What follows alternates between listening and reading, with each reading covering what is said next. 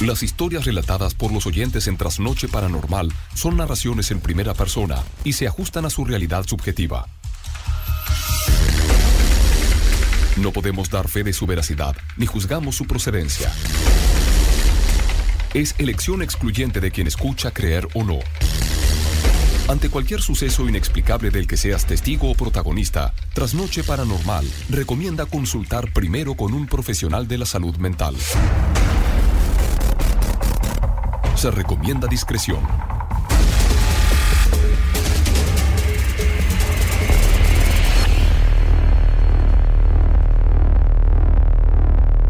Contanos tu historia paranormal en vivo, llamando al 11 27 84 1073. Grabala en audio y envíala por WhatsApp al 11 27 84 1073 o sumate al vivo de Instagram en arroba Héctor Locutor OK. ¿Qué tal? Buenas noches, diez y media en vivo, en punto. Vamos a abrir nuestro ritual radiofónico de cada noche. Estamos completamente en vivo por Radio Concepto 95.5 en tu dial. Te invito a reportarte en vivo. ¿En qué ciudad? ¿En qué pueblo? ¿En qué localidad? ¿Dónde estás ahora? ¿Me lo contás por favor?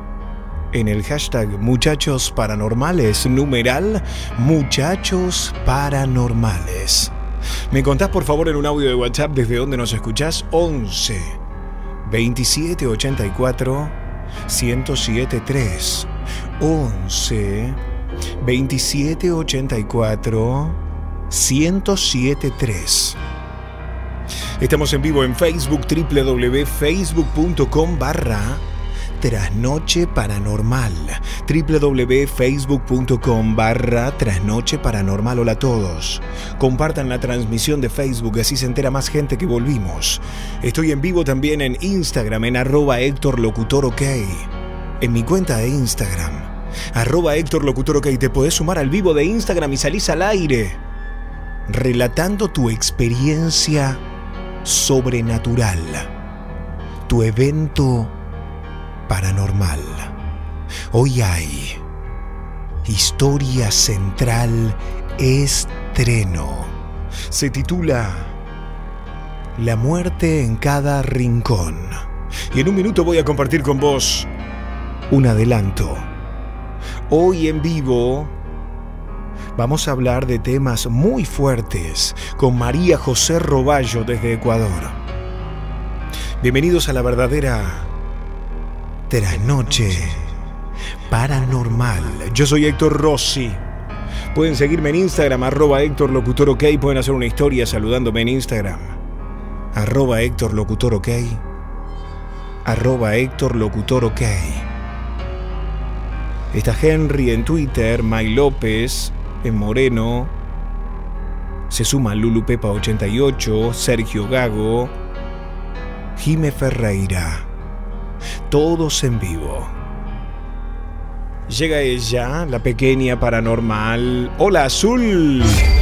Bienvenida. Hola, Héctor. Hola a todos. Hola a todas. Muy buen miércoles. Llegamos a la mitad de la semana y nos ponemos un poquito cinéfilos. Hoy les voy a hablar de la historia real que inspiró una de las películas de terror más conocidas de la historia del cine. El Exorcista. Su estreno en 1973 resultó un éxito de taquilla. Recaudó alrededor de 400 millones de euros, pero sobre todo fue un fenómeno social.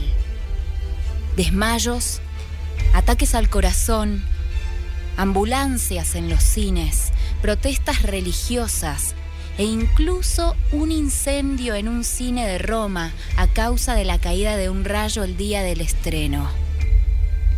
La película inició una sucesión de polémicas. La iglesia se posicionó en contra del film, argumentando que no se puede intentar llevar a la gente hacia Dios, asustándolos con la muerte. Pero una fracción de la iglesia, la comunidad de jesuitas, había vivido un caso de exorcismo a un menor con características sumamente similares a la de la película, en carne propia. Aquel niño fue, de hecho, el germen de la cinta de William Friedkin. En agosto del año 1949, un reportero de The Washington Post reveló un artículo sobre un niño de 14 años residente de Mount Rainer, en Maryland, llamado Robbie Meinheim, que fascinó en su juventud a William Peter Blatty, el autor de la novela El Exorcista y del posterior guion cinematográfico. ¿Cuál es su historia? ¿Cómo llegó a conmover a Blatty y a toda una colectividad en su momento? ¿Hay esclarecimientos hoy en día sobre el caso Mannheim? Quédense enganchados y enganchadas, que en un ratito nada más les cuento todo. Si me quieren buscar en las redes sociales, lo hacen escribiendo arroba azulviren en Instagram y en Twitter. Te seguimos, Azul 2235. Hoy se suma Carolina Oliva, que es medium. Ustedes pedían hablar de mediumnidad, sacarse las dudas. ¿Se puede hacer contacto con los muertos? ¿Cómo funciona una sesión de medium? ¿Uno puede elegir con quién hablar? ¿Puede interferir en el medio de la sesión otro espíritu? ¿Un espíritu malvado? ¿Es peligroso? ¿Existen los mediums o son pura charlatanería? Carolina Oliva se suma hoy con nosotros. Carolina, bienvenida. Hola Héctor, hola a todos. Yo soy Carolina Oliva. Bienvenida. Soy medium, radiestesista, lectora de la borra del café y de, a partir de estas semanas nos vamos a encontrar en la trasnoche paranormal con Héctor Rossi. Los espero. En un ratito entonces, Carolina, hacemos el contacto en vivo con vos a las 10 de la noche, 36 minutos. Ya se viene María José Roballo, pero también hay historias 11 27 84 107 3. Vos al aire. Contanos tu historia paranormal en vivo, llamando al 11 27 84 107 3.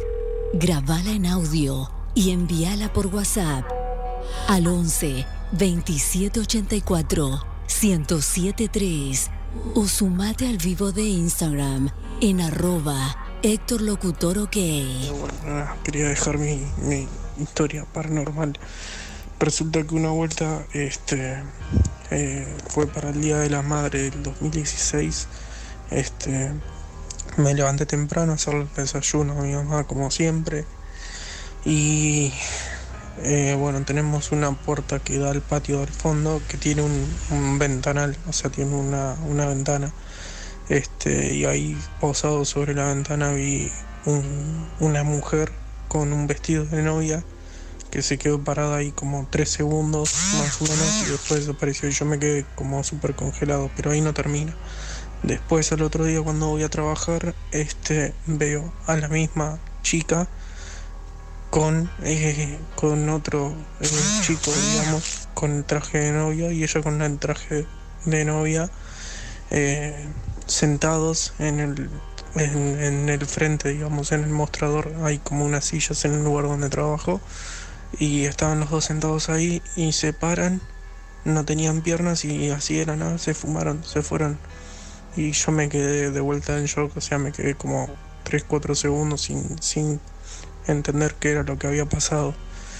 Eh, bueno, nada, quería compartir eso.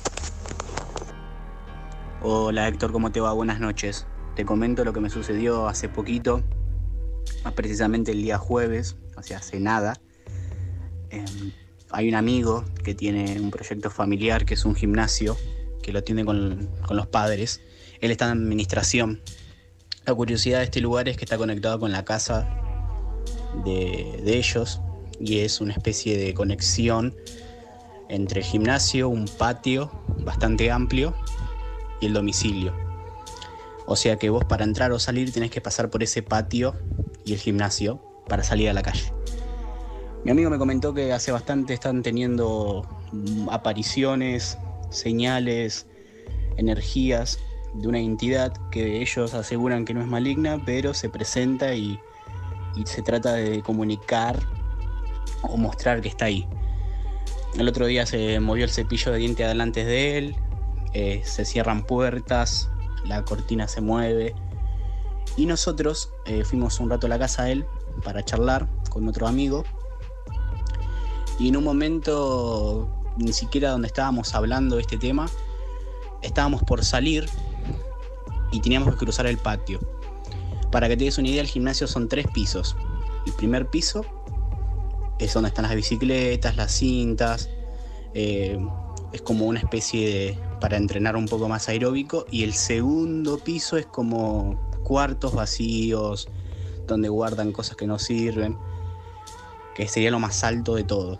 Al salir de la casa, nos dice: no pregunten por qué, ni hablen, pero miren para arriba, señalando a, la ventana esa que él nos había mostrado.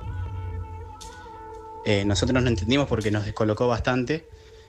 Y hicimos eso, lo que él nos pidió. Salimos de la casa, miramos para la primera ventana que, él nos había, dicho que veamos. Y se vio claramente una figura. Fuertísimo. Se vio claramente una figura de una persona. Eh, no te puedo decir si era humano, mujer, hombre, un nene. Era una figura negra que nos miraba. Eh, nos, nos, dio la, misma sensación a todos de, miedo, de, no saber cómo explicarlo. Nos subimos al auto, rajamos. Él estaba más tranquilo, eh, diciéndonos que él se le presenta, pero bueno, por algo se mostró. No sabemos qué es, ni él todavía sabe, solamente él tiene la seguridad de que no es maligno. Bueno, eh, es la primera vez que yo contacté con algo del más allá y es fuertísimo. Un abrazo grande. maestro, muy feliz cumple. Eh, le deja su salud, Roberto. Hola, buenas noches, Héctor. Te consulto, te quiero hacer una pregunta. ¿Qué significa eh, o qué significado tiene que, que escuche ruidos a cadena alrededor tuyo? Nosotros, mientras que estábamos escuchando recién cuando hablaba con el señor este, empezábamos a escuchar ruido de cadena con mi compañero de lejos. Nosotros, bueno, pensábamos que era un caballo atado al, por ahí cerca, no le dimos importancia. Pero cada vez venía más cerca, más cerca. Nos pusimos a recorrer toda la zona del camping. No, no hay nada, no hay ningún animal, nada. Eh, quería saber qué, qué, significa eso, si, eso, si nos estaba ahuyentando, que nos vayamos del lugar o qué. Gracias. Me hablo de Villa Ángela Chaco. Héctor Rossi. La noche paranormal. El ritual radiofónico de todas las noches. En duplex con Radio Concepto. Por Bebana Radio.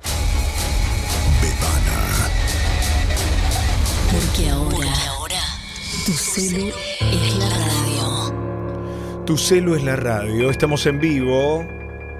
10 de la noche, 43 minutos. Hoy hay Historia Central. Estreno. Quiero compartir con todos ustedes un adelanto de la historia central estreno de esta noche de miércoles. Suban el volumen. Esta noche no se duerme. Esta es la historia real de la muerte en cada rincón en primera persona. Soy Gaspar y tengo 42 años. Toda mi vida sufrí varias enfermedades y lesiones. Algunos dicen que es por ser ochomecino. ¿Quién sabe? Los médicos dicen que solo es que estoy inmunosuprimido, que tengo las defensas bajas.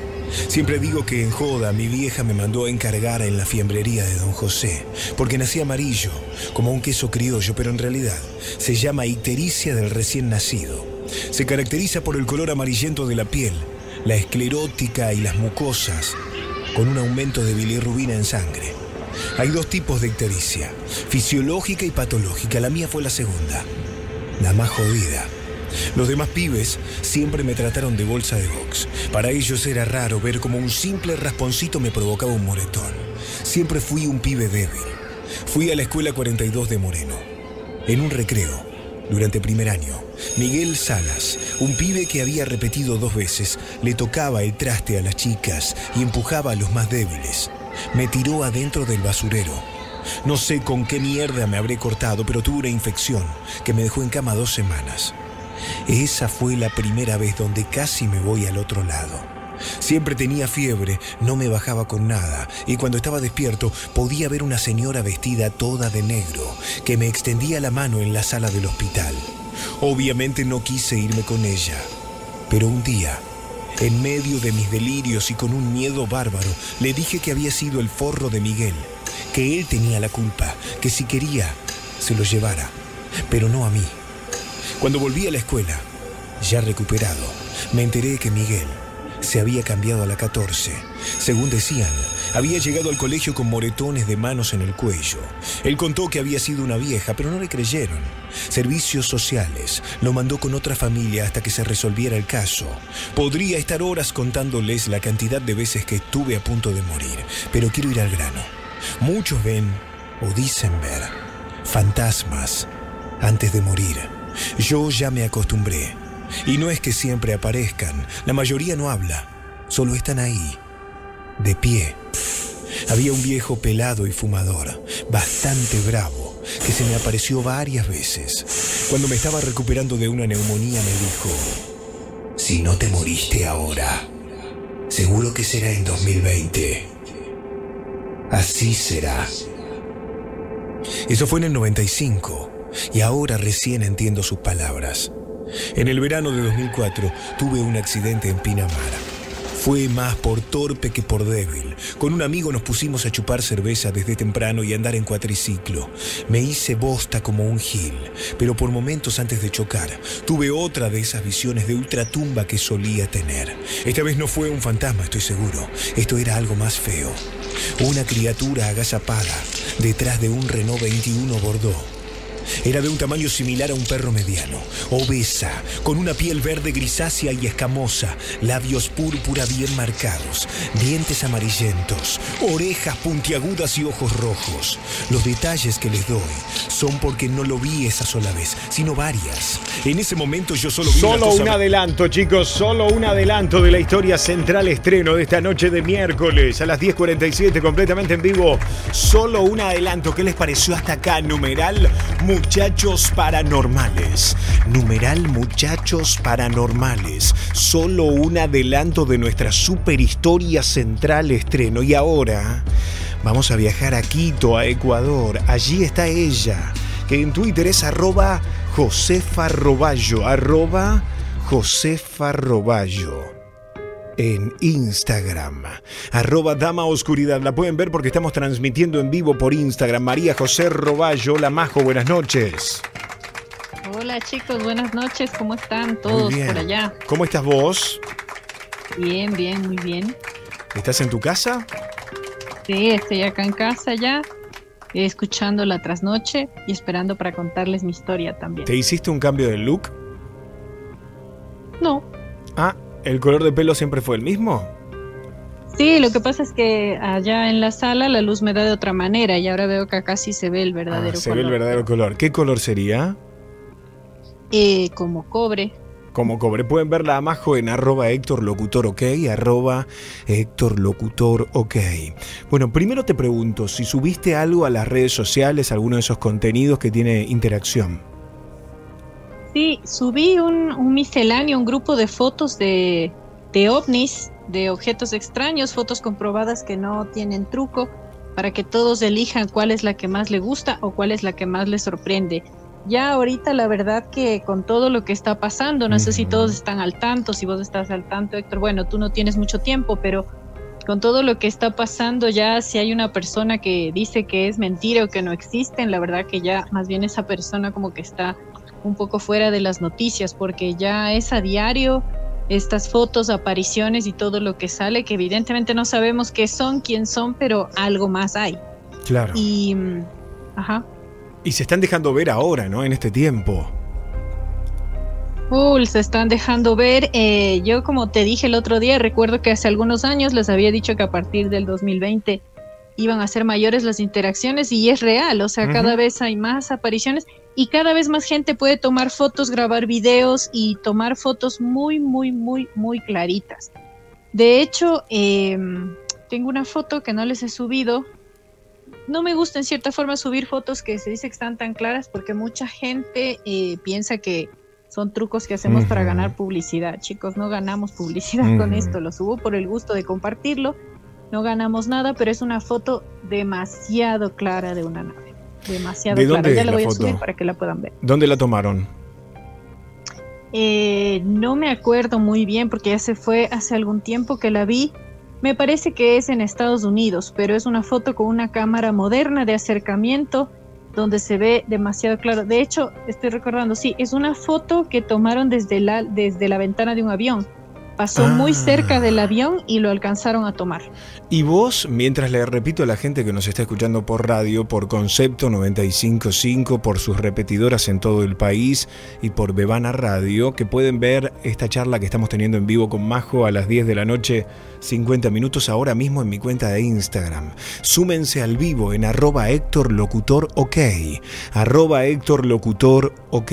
Te pregunto, ¿y vos, además del testimonio y de las fotos y de los materiales, crees en, en los extraterrestres? Porque hay que definir ovni como objeto volador no identificado, que no es sinónimo de un alienígena. La pregunta es, ¿vos crees en que hay otra inteligencia, que hay alienígenas que nos están o vigilando o asistiendo? Totalmente, yo creo totalmente, soy una creyente. Es más, estoy convencida que están entre nosotros. Hay mucha gente y ha habido muchos testimonios. Yo les compartí una vez una historia de varias personas que han interactuado, han convivido, se han enamorado de otros aparentemente seres humanos, pero luego se supo que no son seres humanos. De hecho, hay evidencias de que entre nosotros hay una raza híbrida, que es entre algunos extraterrestres y el ser humano, pero no son muy distintos a nosotros, tal vez un poco en los rasgos de los ojos o en su forma, en la energía que, que desprenden, pero si se ponen a investigar un poquito, eh, hay bastante. Hay bastante y yo sí estoy convencida de eso. Estamos en vivo, usamos numeral muchachos paranormales. ¿Y la historia de hoy cómo se titula y cómo llegó a vos? La historia de hoy es sorprendente porque veo, Héctor, que de alguna forma te juro que estamos conectados, no sé cómo. Porque tiene que ver con, estaba escuchando el adelanto de la historia central, precisamente que habla de un ser extraño con orejas puntiagudas. Y lo que yo les traigo para hoy es uno de los casos comprobados, reales, y lo tratan como de absurdo, por lo que se pudo captar de una aparición de unos seres, unos alienígenas que precisamente tienen esta forma. Y es el caso de la familia Sutton, que se dio en Estados Unidos. Entonces, eso es lo que les traigo para narrarles el día de hoy, una historia completamente real que fue eh, incluso portada de varios periódicos, una historia que sucedió de manera muy extraña y que es lo que, bueno, les quiero compartir hoy. Suban el volumen, estamos en vivo, ¿eh? Ocho minutos para las 11 de la noche. María José Roballo, te escuchamos, Majo.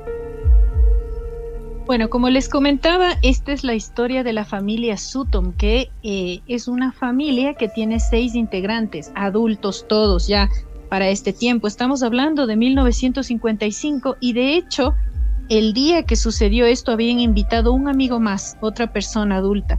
Vivían en una granja y en esa granja no tenían en ese tiempo ni luz ni agua corriente, por lo que su amigo decide irse a un pozo para traer el agua hacia la casa y eh, colaborar con la cena que iban a tener. Pero cuando él se dirige hacia el pozo, se da cuenta que a un lado del terreno está estacionado una nave redonda y brillante, con muchas luces.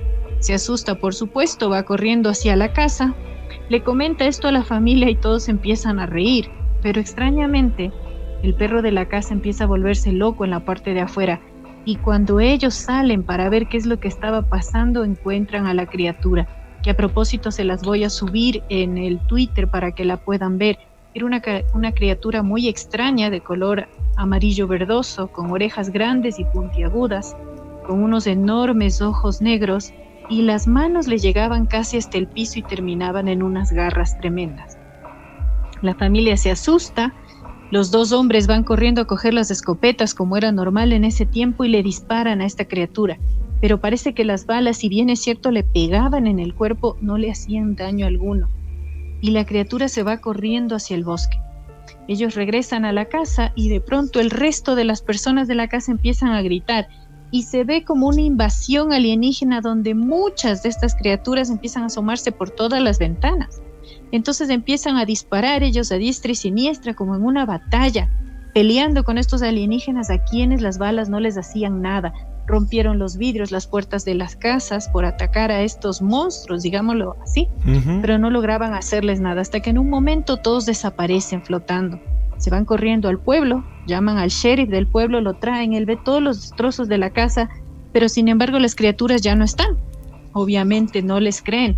El sheriff se va y cinco minutos más tarde las criaturas vuelven de nuevo y se les aparecían por las ventanas, iban, salían, regresaban, terminaron, terminaron disparándoles hasta que finalmente, cuando salió el primer rayo de sol a las 5 de la mañana, desaparecieron hacia su nave y se fueron. Como les digo, este es un caso real que está registrado, donde estos seres que nadie sabe de dónde salieron no le hicieron daño a nadie, simplemente tenían como la idea de jugar con estas personas que quedaron totalmente traumatizados, a quienes les hicieron una entrevista psicológica por separado para saber si la historia era ficticia o real y todos terminaron contando exactamente lo mismo. Así que este es el caso de la familia Sutton para quien quiera investigar un poco más, un caso real de una molestia alienígena. María José Roballo en vivo con nosotros, casi a las 11 menos 3 minutos en la Argentina. Si quieren seguirte en Twitter, arroba Josefa Roballo, arroba Josefa Roballo y en Instagram, arroba Dama Oscuridad. Las, fotos que me habías hablado ya las subiste. Las fotos ya las subí, la que voy a subir ahorita es la foto de la criatura que esta familia Sutton eh, pudo dibujar acerca de lo que vio y su descripción. Esa la subo ahorita con el hashtag del día de hoy, que es Muchachos Paranormales. Muchachos Paranormales, exacto. Ahí vamos. Bueno, Majo, te mando un beso grande y nos escuchamos y nos vemos el próximo lunes. Mira quién vino. ¿Cómo se Sí. llama? Esta es Hanna. Hanna. Nos vemos el próximo lunes. Un beso, un saludo a todos los que me están escribiendo. Y sí, nos vemos como siempre. Que estén muy bien. Viste que hoy que no hablaste de espíritus no ladraron. No, cuando no hablo de fantasmas no ladran. Mira, la está bien tranquila, Cucho. Está muy tranquila, ¿eh? La están viendo a la perrita en Instagram, arroba Héctor Locutor, ok. Te mando un beso, Majo. Un beso, Héctor, que estén bien. Cuídate, Chao. chau, chau. Ahí está María José Roballo en vivo desde Quito, en Ecuador. 10 de la noche, 57 minutos. Quédense con nosotros, porque todavía hay más historias. Hasta las 12 de la noche. En vivo. Todos tenemos una historia sobrenatural para contar. Noche paranormal. En duplex con Radio Concepto. El ritual radiofónico de todas las noches. Por Bebana Radio. Bebana. Porque ahora tu celu es la radio. Contanos tu historia paranormal en vivo, llamando al 11 27 84 1073. Grabala en audio y envíala por WhatsApp al 11 27 84 1073 o sumate al vivo de Instagram en arroba Héctor Locutor OK. Hola chicos de Trasnoche, les voy a contar una historia. Eh, Nosotros sobrevivimos a Cromañón. Yo estaba mi amigo en el Ramos Mejía pasándola mal.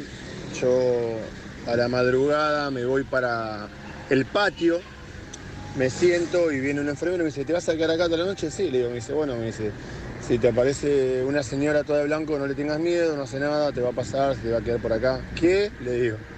Sí, me dice, acá la conocemos todos. Este, obviamente que enseguida me fui para adentro. Leonor era nieta de esclavos. Por familia y por convicción pertenecía a la religión umbandista. Sus creencias y el compromiso con los demás hacían que mucha gente la visitase en busca de ayuda. Un día llegó a verla una pareja, desesperada, pidiendo por favor que fuese a su casa, pues cosas extrañas pasaban allí. Leonor accedió y se trasladó hasta el lugar con su nuera María. La casa quedaba en un sitio muy apartado, en el medio del campo. Hicieron una recorrida y notaron que el ambiente era pesado, denso, y un olor a basura lo inundaba todo. Leonor decidió que debía limpiar el lugar, con la intercesión de sus entidades. Y fue allí donde cosas terribles comenzaron a pasar. Puertas y ventanas se abrían y cerraban solas. Los cuadros colgados en las paredes caían uno tras otro, hasta que Leonor, casi sin hablar, tomó el único cuadro que quedaba en la pared y lo sacó del hogar. Toda esa extraña actividad cesó inmediatamente. Hablando con la familia, descubrieron que el cuadro se los había dado alguien con quien no tenían una buena relación y pensaron que lo mejor era quemarlo. Luego de eso, nunca más fueron atormentados por cosas extrañas. Hola, buenas noches. Te cuento una experiencia paranormal que me pasó.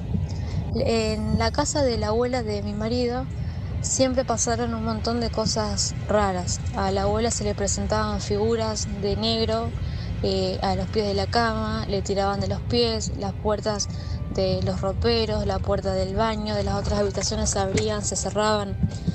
Toda la vida pasaron ese tipo de cosas. Cuando la abuela fallece, yo estaba embarazada y soñé eh, que una noche en esa casa eh, de uno de los roperos que tenía la abuela salía una persona, un hombre calvo negro, eh, todo vestido de negro, con pantalones de cuero negro y una campera larga de, cuero negra. Eh, sonreía y se metía otra vez en el ropero. Después eh, vi a una chica, adelante de la casa de la abuela vive mi suegra. y vi a una chica re bonita de cara, que tenía como un gorrito de, lana, una bufanda que se paraba enfrente de la ventana de la casa de mi suegra, me sonreía y se volvía a meter para la casa de la abuela. Y la última eh, persona que veo en el sueño es una anciana, como una anciana de época, con vestido esos antiguos eh, negro, eh, un gorro negro que le tapaba la cara, yo la cara no se la veía, con un bastón de madera, eh, también todo antiguo. Y, esa vieja está parada en la puerta eh, principal de la casa. Cuando le cuento este sueño a mi suegra, a los días, mi suegra recuerda que la abuela siempre le decía que a la noche veía a la, a la anciana esta y también nosotros nos ponemos a recordar y, recordamos que la abuela también siempre veía a una nena eh, muy linda de, cara eh, que daba vueltas por la casa. Gracias por tus historias. 11 de la noche y 2 minutos. Usamos en Twitter numeral muchachos paranormales. Historias reales. ¿Quién está por Instagram? ¿Cómo te va? Buenas noches. ¿Estás ahí? Hola, ¿cómo te llamas? Bueno, hay un amigo conectado que está ahí en la oscuridad, me estás mirando, estás conectado para salir al aire, ¿cómo te llamas? Bueno, quedó ahí. Es muy paranormal esto. ¿Cómo es tu nombre? Se fue. Bueno, se asustó. 11 27 84 1073. Historias. Hola Héctor, ¿cómo andás? Buenas noches. Bueno, te quería contar este, que soy hija de una persona que hizo espiritismo cuando era chica. Estamos hablando del año 1980 más o menos. Eh, cuando yo era chica, este, él tenía su cuarto, estaban separados con mamá, pero vivíamos en la misma casa, ¿no? Y en su cuarto, evidentemente, este lugar donde él iba, le hacían pintar las paredes de color oscuro, verde militar, un color medio raro, ¿viste? Y una luz muy tenue. Y mi papá me decía que yo no tenía que dormir ahí. Que no, que no, que no, que no. Y bueno, en algún momento que no se dieron cuenta mamá y papá, yo me fui a dormir ahí. Y lo único que te puedo decir es que sí vi una imagen de una persona. Esa persona se parecía mucho a mi mamá. Era como transparente. Le empecé a hablar, tenía seis años yo. Estamos hablando muchos años, 1980, ponele. Y yo agarro y le digo, mami, mami, y no pasaba nada, era como que esa imagen tampoco me miraba a mí, ¿eh?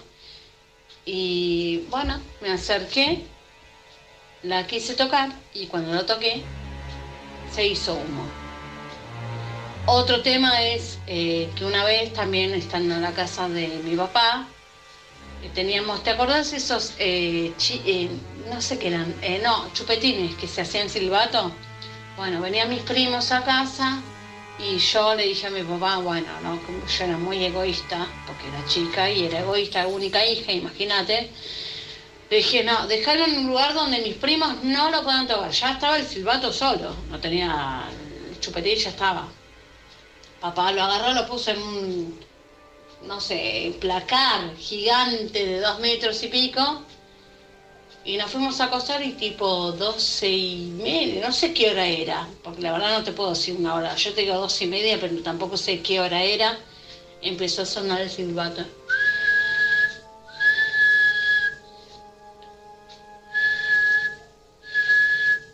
Y bueno, nada, eh, lo escucho con mi mamá, mi mamá dice, sí, cállate, cállate, porque mamá me escuchas, sí, sí, cállate, cállate.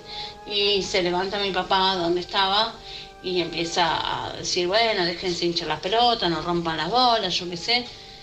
Bueno, eh, cosas que me, han pasado. Como también después mi mamá se separó, tuvo una familia eh, con otra persona y mi Doberman se había muerto, la enterramos en el jardín y yo la lloraba mucho y una noche la escuché llorar y no había otro perro. Así que bueno, son cosas que me han pasado. Un besito, Héctor, te quiero, besos, chau. Saludos a todos y bueno, soy Cecilia de Ciudadela. Besos, Cecilia. Estamos en vivo a las 11 de la noche y 8 minutos. Suban el volumen, seguimos hasta las 12. Voy a cortar el vivo de Instagram, gracias a todos por estar ahí. Sigan por FM Concepto 955, sigan por Bebana Radio, esta transmisión hasta las 12 sigan con nosotros, porque esto recién comienza. La noche es el momento perfecto. La noche paranormal. El ritual radiofónico de todas las noches. En duplex con Radio Concepto. Por Bebana Radio. Bebana. Porque ahora, tu celu es la radio. Noche Paranormal.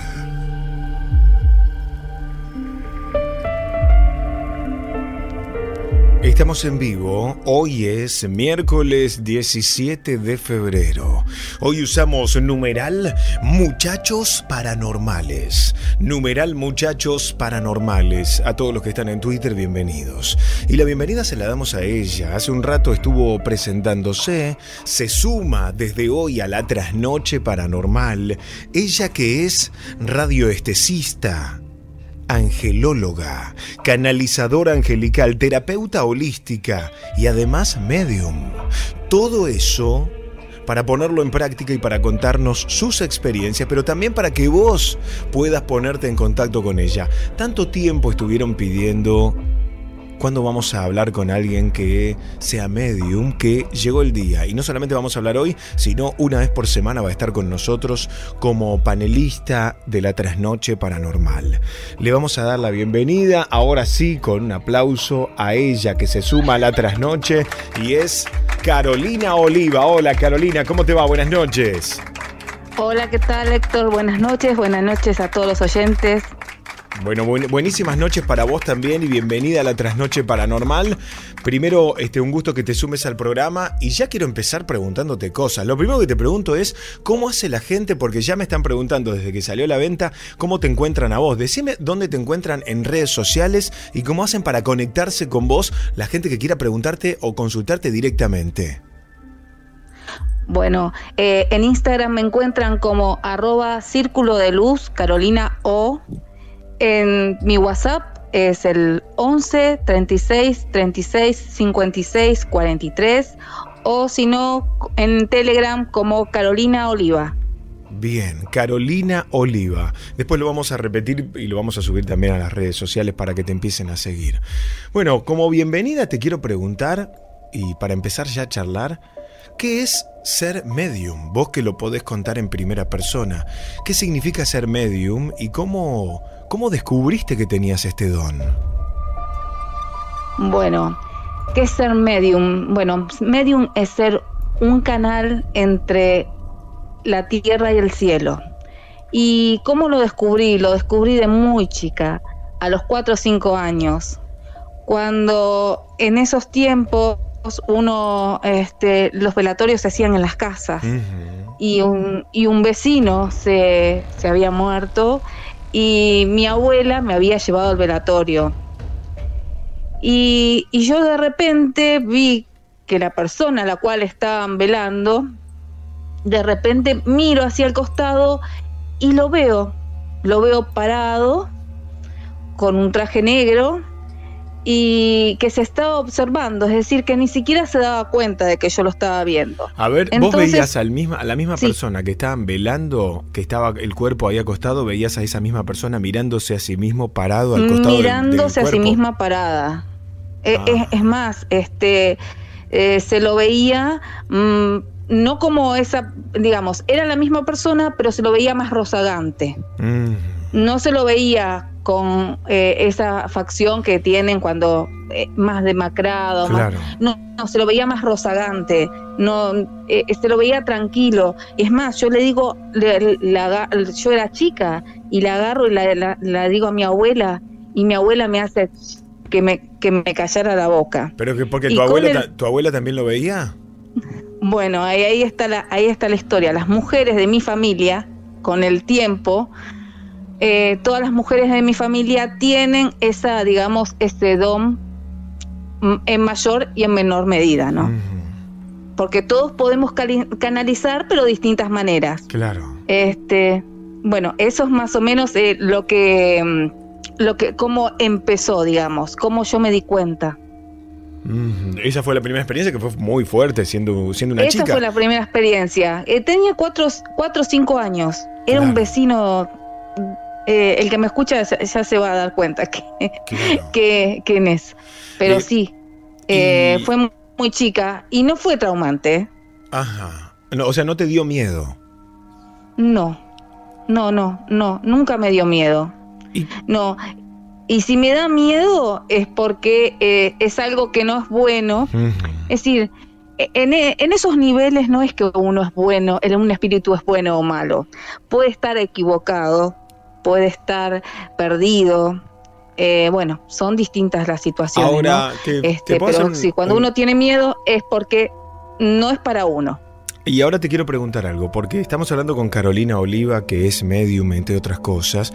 Cuando una persona fallecida se deja ver o vos podés captarla, pregunto en general, ¿el, fallecido quiere dejar algún mensaje? O sea, ¿tiene una información para develarle o para darle a los vivos? Eh, si la persona viene a mí queriéndose contactar con algún familiar, le digo que eh, eso no es posible. La persona puede venir y querer contactarse con algún familiar, pero la, digamos, la información que yo voy a recibir va a ser de la persona, del guía de la persona, del, del, pariente o familiar de la persona, amigo, vecino, que se quiera contactar. Uno no puede obligar ni tampoco meterse en esos planos, digamos. Eso es totalmente falso, que uno va a contactar a alguien. Esas cosas que vemos en las películas, o sea, en la vida real una sesión de, medium no es así, digamos, por ejemplo, ¿cómo es? Contámelo para la gente que nunca lo hizo y que tiene quizá la intención. Me, imagino mucha gente que nos está escuchando ahora en vivo, pueden opinar con el hashtag numeral muchachos paranormales, ¿eh? O pueden mandarle una consulta a Carolina en un audio de WhatsApp al 11 27 84 1073, 11 27 84 1073. Te pregunto, una sesión de medium, por ejemplo, una persona que nos está escuchando ahora que dice, hace tantos años falleció mi mamá, me gustaría hacer contacto con ella. ¿Eso es posible? En realidad no. En realidad no, porque ese espíritu, eh, todos los espíritus van, eh, van elevándose y van, eh, digamos, van subiendo su categoría y su vibración y van avanzando en su camino espiritual como nosotros también vamos avanzando, arriba también van avanzando. Y por ahí eh, llega un momento que este, no es posible el contacto, porque capaz que ya tiene una misión de ayudar a alguien, de, o que simplemente no nos podemos contactar. Cuando la persona se contacta conmigo, es para tener una canalización. Yo ahora hago canalización angelical a través de los ángeles y lo que la persona eh, recibe es un mensaje, puede ser que baje un familiar, pero no el que quiera. Entonces, este, yo lo que recibo es una fecha, un nombre, por ahí una situación, por ahí me indica cómo se murió mm. Mm, este, y siento que me duele el pecho, que me falta la respiración, que tengo un golpe en la cabeza, cosas como para que la persona se dé cuenta que sí estoy hablando con tal o cual persona se le está manifestando. A partir de eso, la persona recibe un mensaje que yo lo tengo que codificar. No es que es una frase, son muy pocas las veces que una que un espíritu dice una frase de corrido, digamos. Eh, eso es más para las películas. Y es, interesante lo que estás diciendo, que capaz se manifiesta otro espíritu, no que la persona. Bueno, elegís, esto no es como una. Esto no es una, un tenedor libre de espiritual. Vos no elegís con quién hablas. No, no, no, no. Pero la persona por ahí puede tener, eh, llevar algo encima y atraer y que esté disponible y quiera y atraer un anillo de casado, este, una foto, algún recuerdo, alguna ropa y puede llegar a ser posible, pero no, hay veces que no, que no pasa. Y hay veces que no se conecta a nadie, solamente el guía de la persona como para darle un mensaje y siempre dejar un mensaje que sea este positivo. ¿En qué sentido el mensaje? ¿Quién deja el mensaje positivo? Y bueno, si este mm, por ejemplo, una persona viene y no se contacta ningún, ningún familiar, ningún amigo, ningún conocido, porque puede ser posible. Eh, esto no es el, teléfono y nosotros llamamos y listo. Entonces, eh, es posible en la, en la medida que este, esté disponible y el, el, digamos, el guía de la persona es el que aporta como si fuera en los registros acásicos, información que le sirva. Ah, bien. ¿Te puedo hacer otra pregunta? Una, mm, una persona va al cementerio, vuelve del cementerio. ¿Se puede traer un muerto o eso es ficción? No, no es ficción. Apa. Eh, eso, y, y no es que existe. Sí, hay algunos horarios que son claves. Por ejemplo, un horario como las 12 del mediodía, que es un horario las 3 de la tarde. No solo es a la madrugada, lo que pasa la noche, que la gente sepa que también pasa durante el día. Que no lo veamos, que, que nos sintamos más seguros durante el día, no quiere decir que pase, que no, que, que no, que eh, en, la, en, la, noche y en el día pasa exactamente lo mismo. Y cuando nosotros vamos a un cementerio, y si nosotros tenemos malas, eh, digamos, nos sentimos mal y vamos a dar una vuelta y vamos a decir, bueno, vamos a ir y vamos a, a llevarle unas flores a mamá o a quien sea, así se me despeja la mente. No, porque si nosotros estamos mal, atraemos todo eso que está dando vuelta atraemos todo eso que está dando vuelta. Es decir, que no es nada positivo. Cuando uno se siente mal, digo, salgo a despejarme. Es lo peor que uno puede hacer. y el cementerio es, este, hay distintos tipos de entidades. Están las que están perdidas, están las que están ahí que todavía no se dieron, que, que son las que generalmente no se dan cuenta y, y, están otras que, bueno, que utilizan, ¿no es cierto?, la, la gente que hace mal, ¿no? Estamos hablando con Carolina Oliva, que a partir de hoy se sumó a la trasnoche paranormal. Ella es, entre otras cosas, radioestesista, medium, angelóloga, canalizadora angelical y terapeuta holística. Hoy, en esta primera salida, estamos hablando de lo que más le, llama la atención a la gente, que tiene que ver con el fenómeno medium. Y ser medium es algo que, como bien dijiste, no se elige. Porque seguramente hay mucha gente que está del otro lado escuchándote y dice, pará, yo también quisiera ser medium. Y la pregunta que te tengo que hacer es, ¿cualquiera de nosotros puede ser medium? Todos, todos.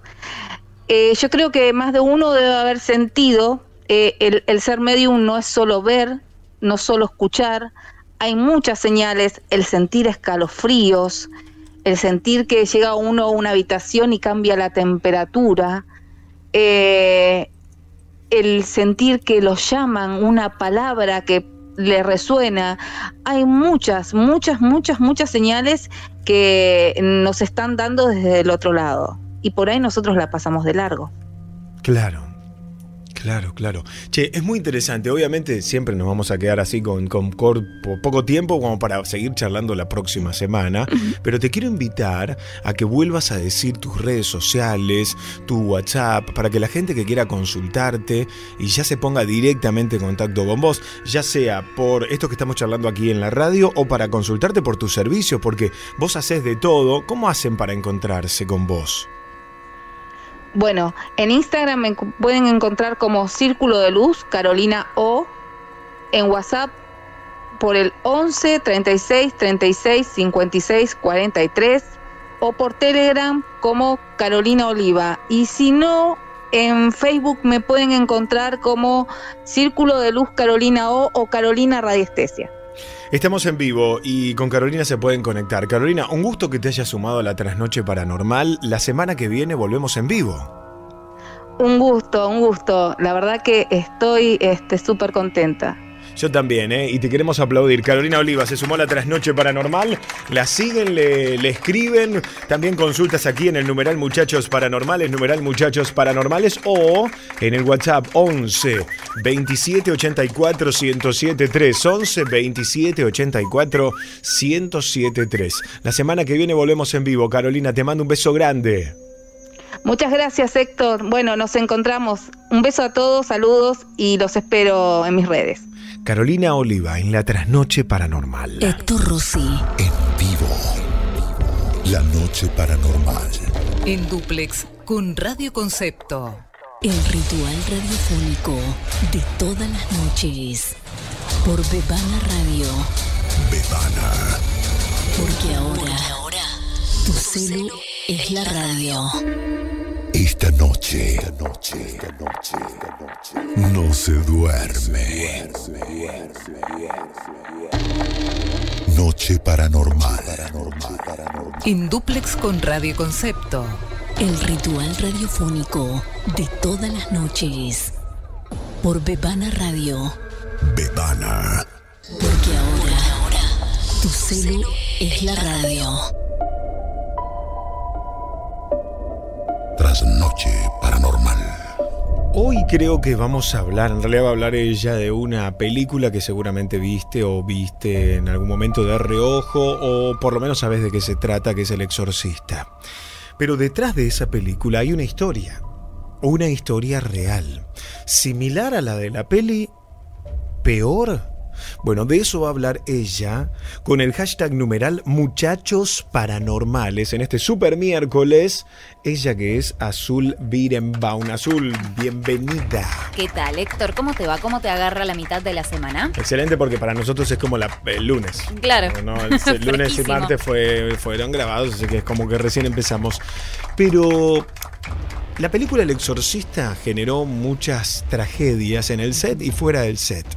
¿Hay una historia previa a la ficción que vimos en el cine?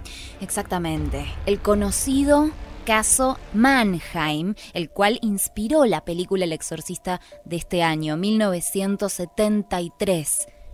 Esta historia tenía elementos realmente inquietantes. El 15 de enero de 1949, un menor llamado Robin Mannheim pasaba la tarde en su casa de Bunker Hill Road cuando escuchó unos ruidos en el sótano, probablemente causado por unas ratas. Al buscar el origen de los extraños sonidos en distintos dormitorios, una representación de Jesús en el cuarto de la abuela se torció y empezó a moverse como si alguien golpeara la pared desde atrás. Once días después de aquel extraño suceso, falleció una tía muy querida por Roy. Esta tía era sumamente aficionada al juego de la Ouija, este tablero que nos permite comunicarnos con las almas en pena, con los espíritus del más allá. Y a partir de entonces, de este fallecimiento, la familia Mineham empezó a vivir fenómenos inexplicables. Algo parecía rasgar las paredes de la casa. El colchón de la cama de Robbie se movía de forma violenta en plena noche. Los golpes desde el sótano eran constantes. Un olor a excremento inundaba todo, y objetos ordinarios, como por ejemplo un florero, se suspendían en el aire. Compañeros de clase de Robbie atestiguaron además que un día el escritorio del niño empezó a moverse hacia el pasillo, chocando contra otros objetos. Con el fin de dar con la naturaleza de estos sucesos, la familia invitó a un pastor luterano llamado Letter Miles Schulze a pasar la noche en la casa. Su experiencia fue tan terrible como para aconsejar urgentemente la presencia de un exorcista. La Iglesia Anglicana le delegó el caso a la católica, con un claro protocolo para estas situaciones. En la mayoría de los casos investigados por sacerdotes católicos, la resolución suele ser que se trata de problemas médicos. La Iglesia era reticente también hoy a intervenir en lo que puede explicarse simplemente como enfermedades mentales. De ahí lo excepcional de que en el caso Meinheim la iglesia, la iglesia Católica determinara que el niño estaba poseído y autorizara que se hiciera un exorcismo según el rito romano en vigencia desde el año 1614 que luego fue actualizado en 1952.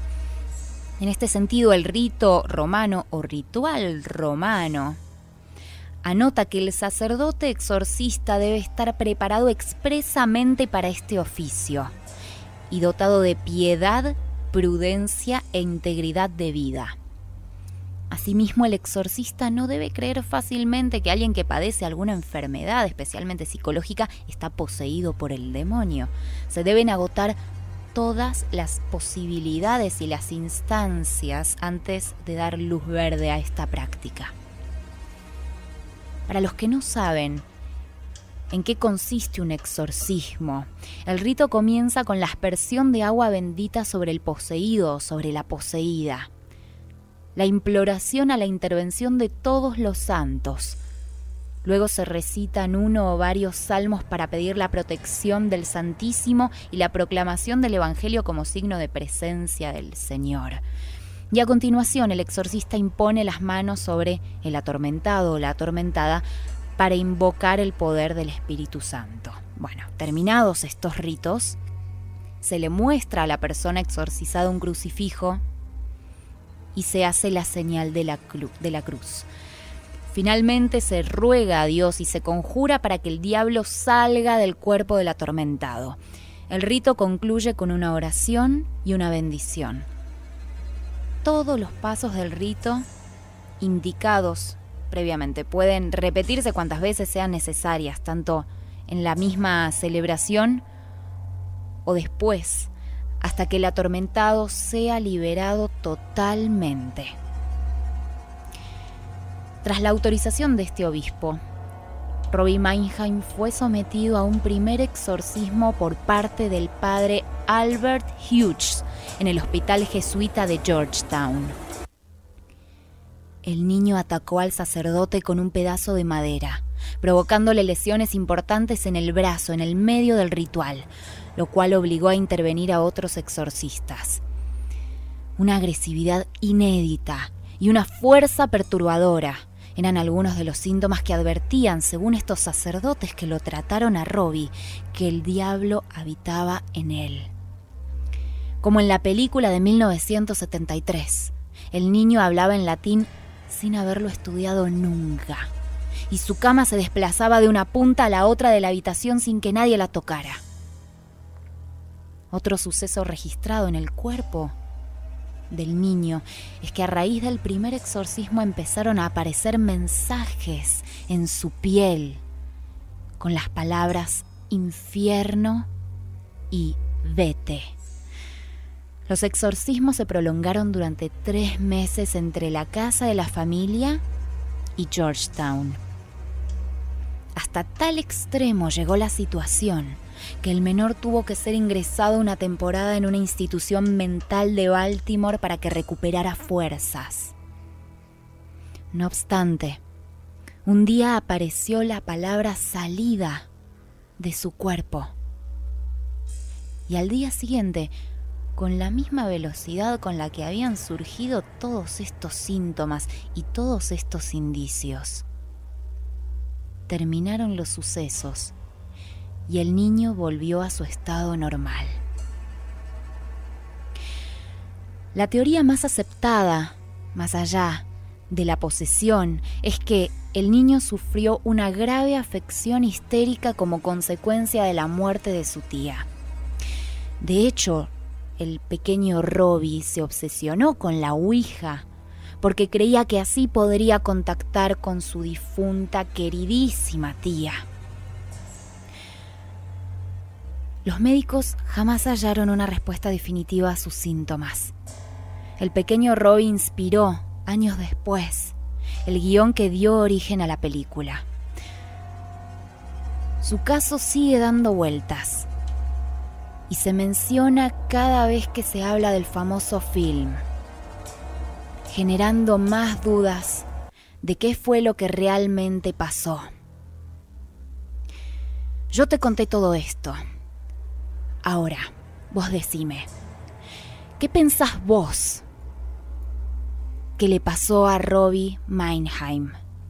¿Qué pensás que fue esa fuerza sobrenatural que tomó el control total del cuerpo de este niño? Héctor Rossi. La noche paranormal.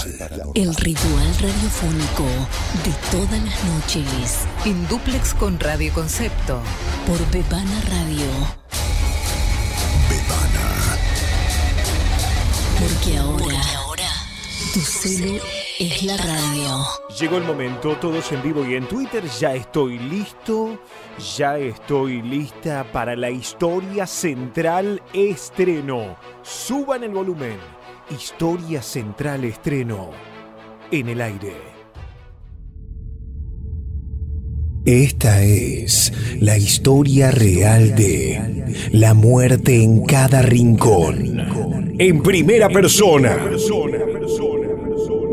Soy Gaspar y tengo 42 años.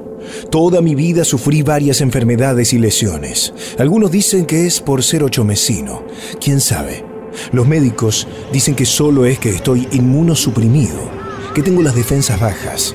Siempre digo que en joda mi vieja me mandó a encargar en la fiembrería de don José, porque nací amarillo, como un queso criollo, pero en realidad se llama ictericia del recién nacido.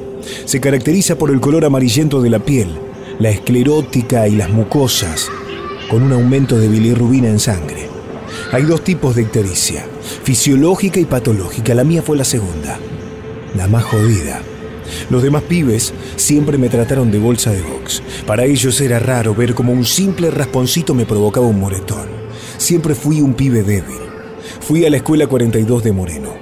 En un recreo, durante primer año, Miguel Salas, un pibe que había repetido dos veces, le tocaba el traste a las chicas y empujaba a los más débiles. me tiró adentro del basurero. No sé con qué mierda me habré cortado, pero tuve una infección que me dejó en cama dos semanas. Esa fue la primera vez donde casi me voy al otro lado. Siempre tenía fiebre, no me bajaba con nada, y cuando estaba despierto podía ver una señora vestida toda de negro, que me extendía la mano en la sala del hospital. Obviamente no quise irme con ella, pero un día, en medio de mis delirios y con un miedo bárbaro, le dije que había sido el forro de Miguel, que él tenía la culpa, que si quería, se lo llevara, pero no a mí. Cuando volví a la escuela, ya recuperado, me enteré que Miguel se había cambiado a la 14. Según decían, había llegado al colegio con moretones de manos en el cuello. Él contó que había sido una vieja, pero no le creyeron. Servicios sociales lo mandó con otra familia hasta que se resolviera el caso. Podría estar horas contándoles la cantidad de veces que estuve a punto de morir, pero quiero ir al grano. Muchos ven o dicen ver fantasmas antes de morir. Yo ya me acostumbré. Y no es que siempre aparezcan, la mayoría no habla, solo están ahí, de pie. Había un viejo pelado y fumador, bastante bravo, que se me apareció varias veces. Cuando me estaba recuperando de una neumonía me dijo, si no te moriste ahora, seguro que será en 2020. Así será. Eso fue en el 95, y ahora recién entiendo sus palabras. En el verano de 2004 tuve un accidente en Pinamara. Fue más por torpe que por débil. Con un amigo nos pusimos a chupar cerveza desde temprano y andar en cuatriciclo. Me hice bosta como un gil, pero por momentos antes de chocar tuve otra de esas visiones de ultratumba que solía tener. Esta vez no fue un fantasma, estoy seguro. Esto era algo más feo. Una criatura agazapada detrás de un Renault 21 Bordeaux era de un tamaño similar a un perro mediano, obesa, con una piel verde grisácea y escamosa, labios púrpura bien marcados, dientes amarillentos, orejas puntiagudas y ojos rojos. Los detalles que les doy son porque no lo vi esa sola vez, sino varias. En ese momento yo solo vi una cosa verde antes de reventarme contra un teléfono público. Pasé una semana y media en coma. En el hospital me visitaron más de esos bichos asquerosos y repugnantes. Rodeaban mi cama, me olfateaban y tocaban. Tenían un olor asqueroso, como de la osamenta de un muerto recién desenterrado. Quien me oiga pensará que estoy mal de la cabeza, pero sé que no estoy loco. Me acuerdo perfectamente cuando estaba despertando día a poquito y tenía periodos de vigilia y sueño. Antes de dormirme los veía y olía su baranda a muerte. Al despertar, veía siempre a una enfermera revisando mis sábanas por si me había hecho encima o estaba con una necrosis. Era obvio que ella también olía esa peste, pero pensaba que yo me hacía encima. Luego de eso, intenté cuidarme más, comer sano, dejar el pucho, caminar. Yo pensé que los bichos esos solo aparecían en mis momentos de debilidad, pero estaba equivocado. Una noche, volviendo de la facultad de Derecho, me arrinconaron tres pibes en dos motos. Me sacaron todo lo que tenía y me recagaron a palos. Uno, que estaba resacado, me tiró al piso y me encañonó con un revólver en la cabeza. Cagado en las patas, miré a un costado y en la vereda de enfrente y asomándose desde un tacho de basura. Estaba uno de esos seres espiándome como un gato al acecho, con esos ojos rojos como lunas de sangre bien abiertos. Mientras abría la boca de la cual caían hilos de baba, yo cerré los ojos y el chorro gatilló otra vez. La bala no salió, el revólver estaba descargado. Se fueron cagándose de risa. Cuando volví a mirar, aquel ser repugnante ya no estaba. Ahí supe que no tenía que volver a exponerme a situaciones peligrosas y cuidarme aún más, pero no fue suficiente. El primero de enero de 2017 estaba festejando el año nuevo en familia. Había tomado solo gaseosa. Luego me contaron que me encontraron tirado en la cocina, junto al calefón. Los médicos declararon una muerte súbita. Yo tenía un historial médico tan largo que todos parecían esperar que muriera por cualquier cosa. Por suerte no me hicieron autopsia y no se gastaron en velarme. Dicen que a veces las desgracias de la vida terminan siendo regalos del cielo. Me desperté a oscuras. Me faltaba el aire. No se dan una idea de lo espantoso que es darte cuenta que fuiste enterrado vivo. Me quebré una muñeca dándole trompadas al cajón. Grité desesperado y llorando. ¡Sáquenme de acá! ¡Estoy vivo! Otros golpes respondieron a los míos. Empecé a calmarme, pero me duró poco. Los golpes se transformaron en arañazos y rugidos bestiales. La tapa del cajón se rompió. Una mano pequeña arrancaba pedazos de la madera con una fuerza terrible. Si hubiese estado bajo tierra, aquellos monstruos se me hubiesen tirado encima, pero estaba en el panteón familiar. De repente, aquel ser dejó de buscar en mi ataúd y logré salir por mis propios medios. Pude ver que el cadáver de mi abuelo Tito estaba en el suelo, mientras un par de aquellos bichos masticaban lo que quedaba de sus huesos. No quise ni pude ver más. Salí de ahí con las pocas fuerzas que me quedaban, rengueando, con las manos adoloridas. Los bichos no me siguieron. Luego sabría que ellos solo comen muertos. Más tarde supe que lo que tuve no fue muerte súbita, sino catalepsia. Es la primera vez que cuento en primera persona lo que me pasa. Investigando por mi cuenta, pude saber que esos, que los llamo cariñosamente bichos, monstruos o seres, son bien conocidos en la mitología árabe y europea como ghoul. Demonios, necrófagos, devoradores de cadáveres. ¿Cómo mierda llegaron hasta aquí no lo sé, pero tengo mi hipótesis. Encontré una nota del diario de un año antes de que yo los viera por primera vez. Decía que había arribado un barco desde Europa con restos de un sacerdote argentino que habían mandado a Azerbaiyán y había muerto en Bakú, la capital del país, para ser depositados en la iglesia de su pueblo. Al anclar el barco, encontraron el cajón abierto y al pobre cura masticado y parcialmente mutilado. Le echaron la culpa al que cerró el cajón y a las ratas.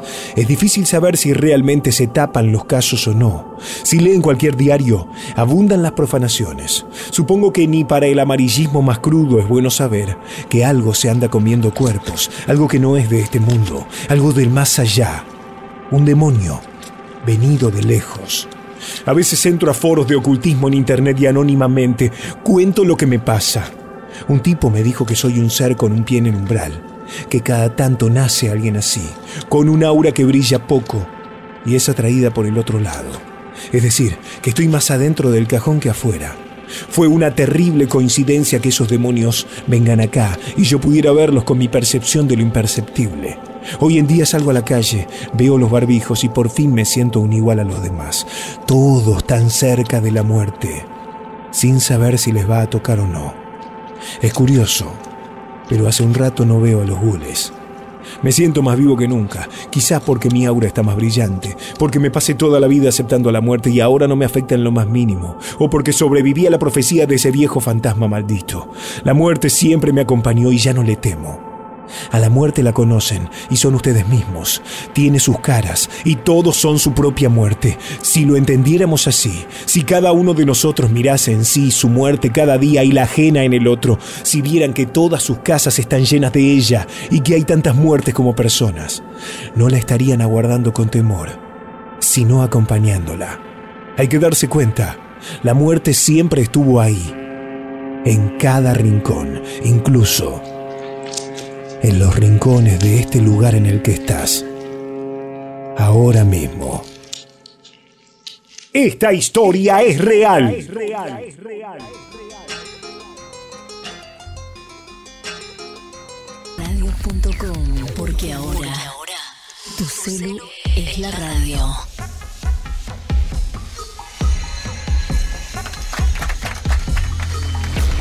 Un aplauso para todos ustedes porque somos Trending Topic Nacional, numeral muchachos paranormales, numeral muchachos paranormales. Gracias totales por acompañarnos, por estar con nosotros siempre. Una nueva trasnoche paranormal. Hoy volvimos en vivo, nos tomamos los feriados de carnaval. La verdad, ¿quién quiere que les digamos? Lo, nos lo merecíamos. Volvimos completamente en vivo, pero ya estamos llegando a las 12 de la noche. Numeral muchachos paranormales.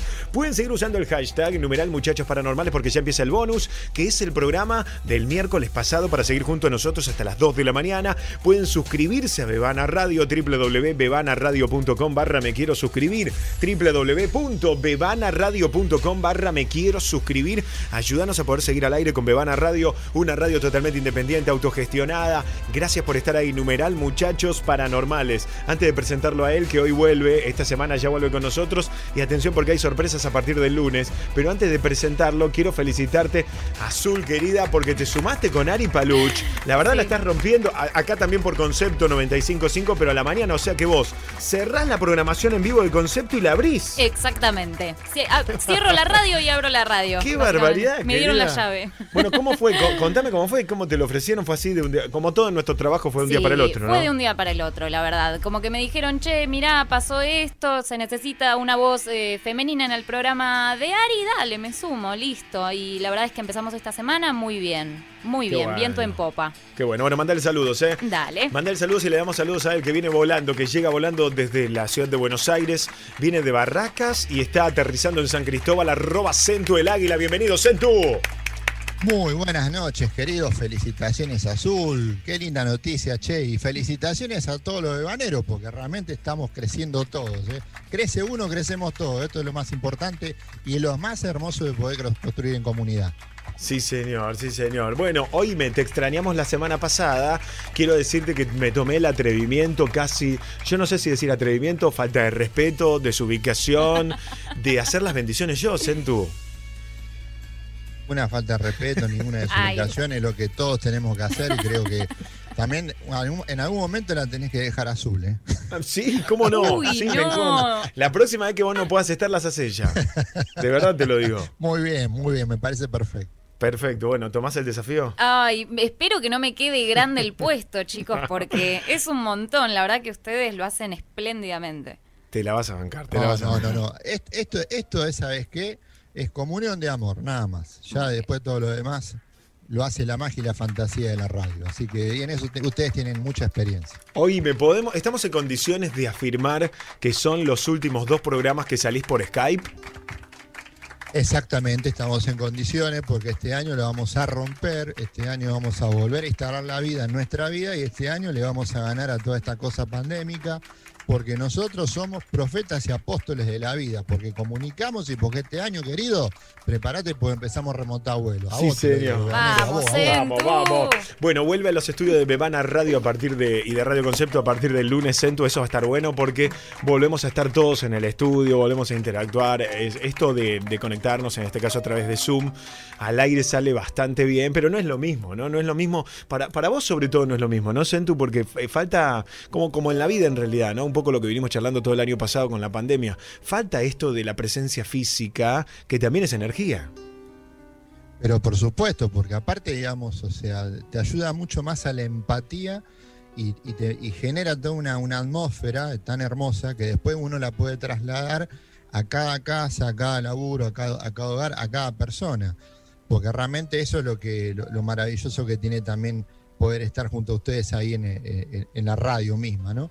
Este, generamos esa situación eh, angelada que nos permite justamente hacernos presente angélicamente también en cada lugar de, donde, donde se hace presente.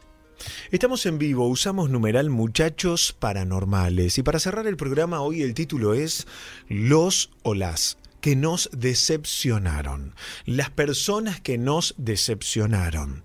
Se darán cuenta que la frase está conjugada en pasado, ¿no? Obviamente uno podría hablar también en presente o incluso en futuro, pero mirar para atrás en función de la decepción, yo formulé la frase en pasado porque me da la impresión de que cuando uno mira para atrás y puede ver a los o las que nos decepcionaron, hay una ventana de tiempo entre la decepción y la mirada de uno sobre ese hecho que nos puede permitir estar en otro lugar, porque cuando te están decepcionando, uno no está en su mejor momento para sacar una conclusión, porque o puede estar dolido o enojado o la emoción del momento te gana y no te permite tomar buenas decisiones. Pero cuando mirás para atrás, quizás se generó una línea de tiempo, un paréntesis entre la decepción y tu acción, que termina siendo o el perdón, o la indiferencia, o el aprendizaje. ¿Qué papel juegan o cumplen en nuestra vida las personas que nos decepcionaron, Sentú? Mira, el papel que uno podría llegar a, tener este como, como paradigma para poder interpretar, y esto lo digo, lo digo de manera particular para que después cada uno de nosotros lo pueda amplificar, lo pueda profundizar y también lo pueda complementar, es la acción de sacarnos a nosotros de un idealismo que no es real. Eh, me ha pasado muchas veces, y soy en esto soy, soy me hago responsable, ¿no?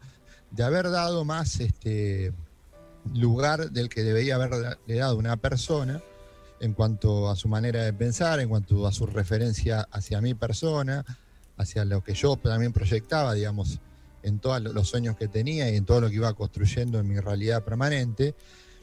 Y bueno, tal vez esperar algo que la persona jamás me podría haber dado, jamás me iba a dar. Tal vez este, haber, qué sé yo, haberla, haber disfrazado una realidad, porque también me hago cargo. No es solamente que el otro hizo una malversación de, tu, vamos a decir, de tu ingenuidad. También uno se ha dejado, uno ha permitido también que, las cosas avanzaran y tomaran un cuerpo que no tendrían que haber tomado. Bueno, todo esto me ha ayudado también a hacer una conjugación verbal, como mismo lo, lo presentaste al principio, de mirar hacia atrás es ver una decepción, en la cual yo tengo que también este, hacerme cargo de las cosas en las cuales yo colaboré. Mirar el presente, no mirar atrás, mirar el presente es empezar a elaborar una acción que viene, digamos, este, justamente este, capacitada, profundizada y también exigida por esa decepción. Y mirar hacia el futuro significa empezar a tener una capacidad de intuición. ¿Para qué? Para no yo no generar en los demás lo que generaron a mí y no volver a generar en mí lo que en su, momento no supe poner como, como, como en claro o tal vez este, disimulé y en cierta manera también, como te dije al principio, este, disfracé. Eh, eso es el ejercicio que hago ante esta situación vuelvo a decir, es algo particular y cada uno tiene su manera, su este, forma también de, expresarlo, de vivenciarlo, de transmitirlo y también este, de reflexionarlo. Creo que Azul en esto nos va a complementar y seguramente vos también tendrás otra mirada que ampliará y profundizará esto. Eh, ¿No es cierto, Héctor? Sí, sí, eh, me gustaría escucharte a ver qué, pensás vos, Azul, de, lo que decías tú, pero también eh, si querés animarte a responder en primera persona con, los que te decepcionaron. Eh, me parece clave, bueno, retomo el guante, pensar cuál fue nuestro rol al momento de esa decepción, de esa desilusión, y entender que también era un ideal que nosotros teníamos que en la realidad difícilmente se puede concretar. Eh, la decepción entra en esa brecha entre lo que yo esperaba y lo que yo deseaba e imaginaba y lo que se terminó dando. Entonces, ¿cómo acepto esa nueva realidad? ¿Cómo la reincorporo?